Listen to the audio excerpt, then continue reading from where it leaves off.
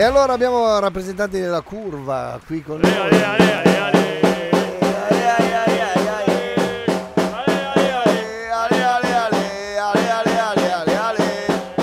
Gol dell'Inter! Ha segnato Ivan Perisic!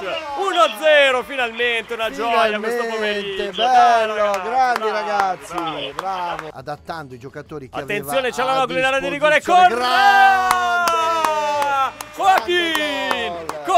Correa 2-0 per l'Inter, minuto numero 55. Bravo, grande azione dell'Inter che sulla sinistra Bravi, trova un pertugio, bravi, entra in area di rigore. Gol numero 5 del campionato di Correa, ragazzi. due doppiette e il gol di oggi. Guarda, Ed ecco guarda, che arriva guarda, il numero guarda, 3. guarda, Correa, Correa limite dell'aria, si intestardisce. Correa, Correa, palla sempre sul destro. Joaquin!